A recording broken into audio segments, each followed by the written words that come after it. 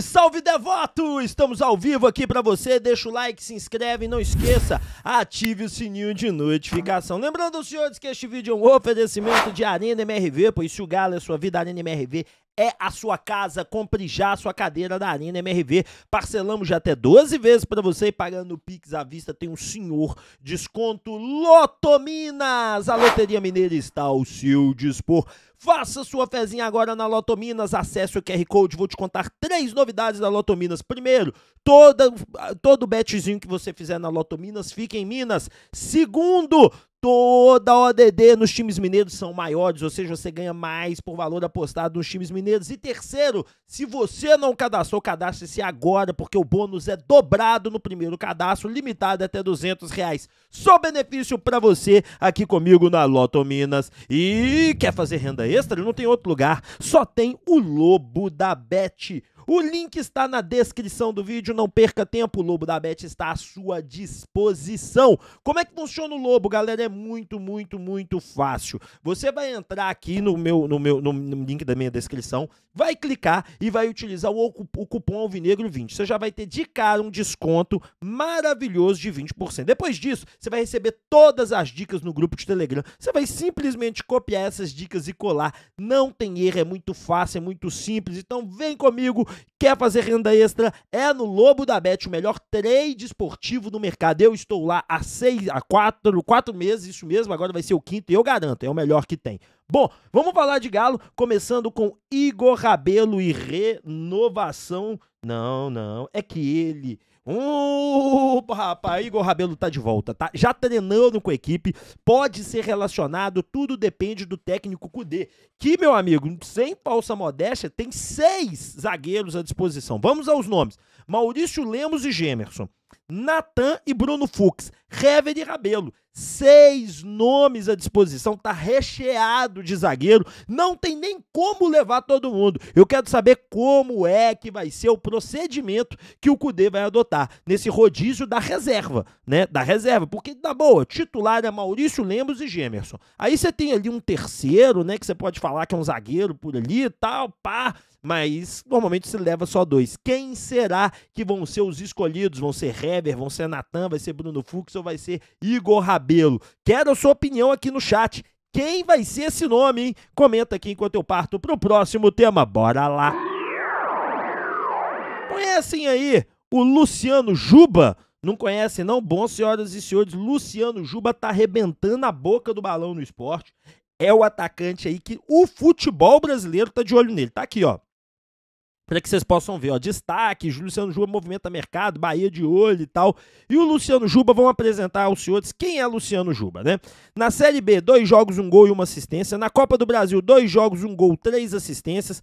No, na Copa do Nordeste, na fase de grupo, oito jogos, quatro gols e quatro assistências. Na Copa do Nordeste, fase final, quatro jogos e dois gols. E no Campeonato Pernambucano, de 15 jogos, seis gols. Então, na temporada, o homem tem seis, sete, oito, 9, 10, 11, 12, 13, 14 gols. E assistência tem uma, tem quatro, tem oito, tem oito. Oito assistências. E o bom é que é o seguinte: é um menino jovem de 23 anos apenas, joga pela ponta esquerda. Nós não temos ponta esquerda de origem hoje avaliado um valor bem baixo de mercado, 900 mil, e pode assinar um pré-contrato com quem ele quiser a partir de julho, tá certo? É um jogador aí bem jovem, joga pelo ponto esquerda, meia esquerda. Começou no esporte, foi emprestado ao Confiança e voltou pro esporte. Carreira jovem, 31 jogos, 14 gols e 8 assistências. Um número bastante elevado aí, tá? Senhoras e senhores, deixa eu contar uma coisa para vocês do Luciano Juba. Tá sendo procurado por grandes equipes do futebol brasileiro.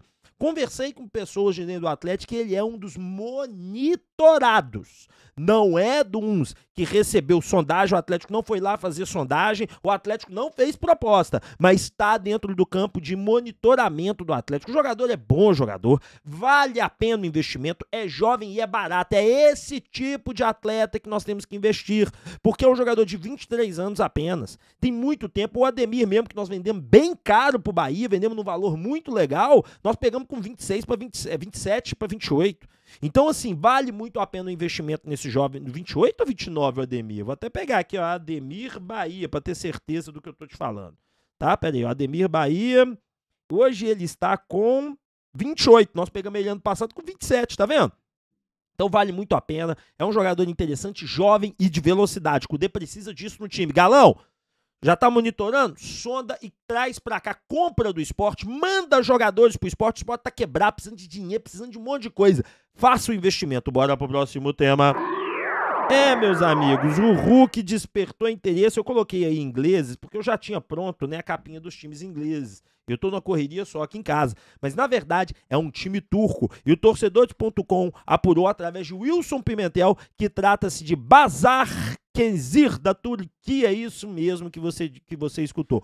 O Bashar, Bazar Hashar, da Turquia tem interesse, procurou o Hulk, mas o Hulk negou a proposta, não quis, a equipe aí é, recusou esta proposta, né? Ó, daqui a pouco eu vou fazer sorteio de ingresso pro jogo do Inter, nem não sai daí não. Então, senhoras e senhores, olha que interessante, o Atlético recusou a proposta, o Atlético não, o, o, Hulk recusou negociações, não quis nem abrir espaço. E essa era a equipe que procurou o Hulk. Hulk já disse claramente que quer ficar no Galo, claramente, né, que quer aposentar no Galo. Ele já tem um camarote na Arena MRV para ele curtir. Então, assim, bom demais para a gente saber que, mais uma vez, e isso é importante demais mesmo, mais uma vez, o Hulk mostra e tira, né, e abre mão de dinheiro, de muita coisa que ele teria mais do que aqui, né? Ganharia melhor do que aqui para ficar com o Galo. Pra... É a casa do cara. É a casa do cara, é onde ele quer ficar, não tem outro lugar, não.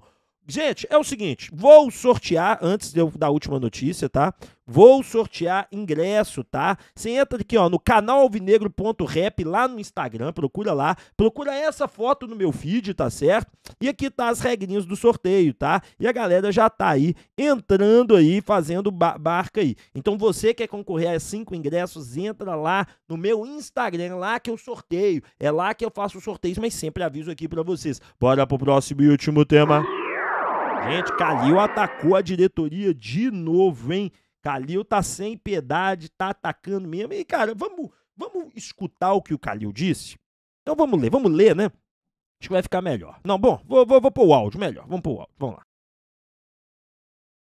O futuro do Clube Atlético Mineiro. Preocupante. Estou muito preocupado. Estou triste. Mas eu acho que a história está se repetindo porque eu acabei de falar em livro de história. Isso aconteceu em 2005 e Deus permita que não aconteça de novo. Do que, que o Calil tá falando, senhoras e senhores? Vamos lá. Tá aí reportagem do jornal O Tempo, né? O áudiozinho de lá. O que, que o Calil tá falando? Tá falando da época que o Atlético caiu com o Ricardo Guimarães, ele era o presidente do Atlético, ele caiu. Né? É, é inegável que o Atlético caiu, não dá para, não tem pano que se passe em cima disso, né? É, verdade seja dita, foi uma péssima temporada, de péssimas contratações. Na hora que o Atlético pôs os meninos da base, quase salvou, mas não salvou. Demorou demais a demitir o Tite, o Tite ficou aqui muito tempo e tal, aquela coisa. Só que é o seguinte, cara, é, com todo o respeito, vamos falar aqui, o Alexandre Calil é um doce, não o maior, na minha, na minha opinião, o Sérgio Coelho é o maior.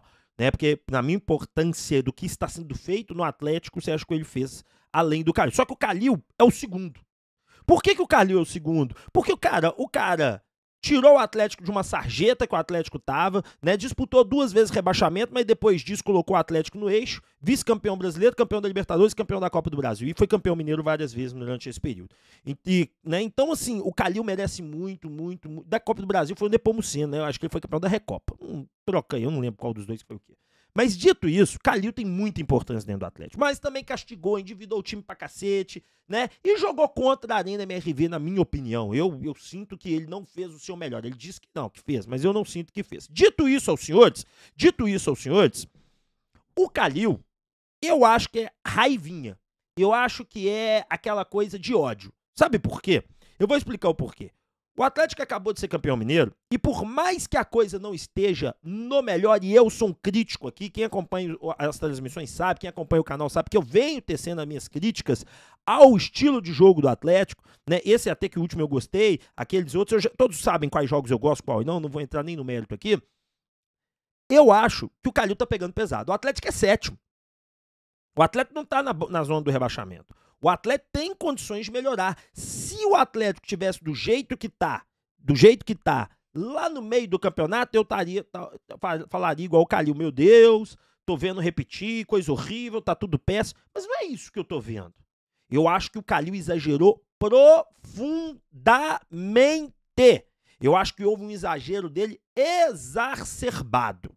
Tá certo? Na hora que ele fala do Atlético, né? Parece que a situação do, do Atlético é, é assim: é, é, é que o Atlético vai ser rebaixado. Então eu acho que houve um exagero do Cali, mas isso é a minha opinião. Não sei a sua opinião, gostaria que você comentasse aqui pra gente discutir, pra gente entender o que você, torcedor, pensa. Você acha que o Calil falou certo? Você acha que o Calil exagerou? Bom, cada um tem sua opinião. Vai lá pro meu Instagram para você concorrer a sorteio dos ingressos. Grande abraço, fica com Deus, tamo junto, tchau e fui, valeu!